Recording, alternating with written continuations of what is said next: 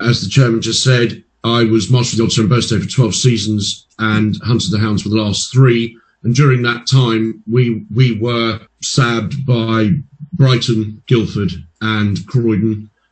And a couple of things I, w- I would say um, and add to that is that we always say, uh, get one in the can.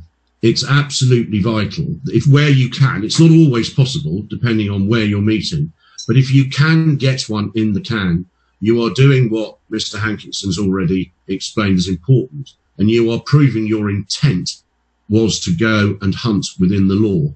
So if you have a filmed video at quarter past or 20 past 11 or half past 11, and you have it in the can, and you have a trail laid and hounds and video evidence of hounds hunting that trail, albeit for two or three minutes, you have one in the can, which demonstrates that you clearly were going hunting to hunt within the law and simulate a day's hunting as it used to be. By by by collating evidence and having um, having a good trail laying team, it was vital that we had that enable, which would enable us then to be able to go and do what we all want to go and do.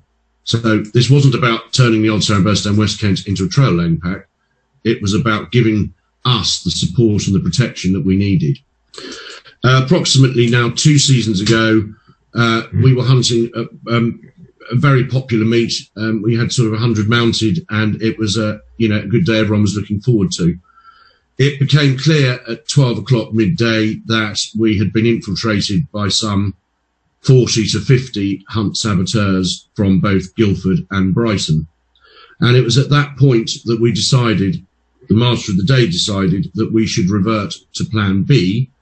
Uh, plan B being, obviously, um, using our team to lay trails for the rest of the day because it became clear that the antis that had arrived were only there for one thing. So the huntsman, Mark Bycroft, have actually been walking the country as he would have done with the master of the day two days before, uh, but he'd also been walking it with his with his head trail there.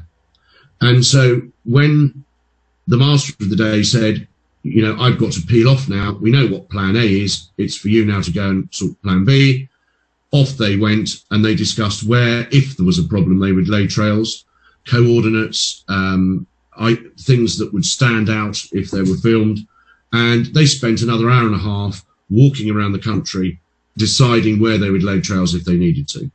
I hope I've demonstrated to you just one small example. I could give you 20, 30, 40 even, but I hope I've identified what, uh, uh, so shown you one small day where without it, we would have been in a lot of bother. Um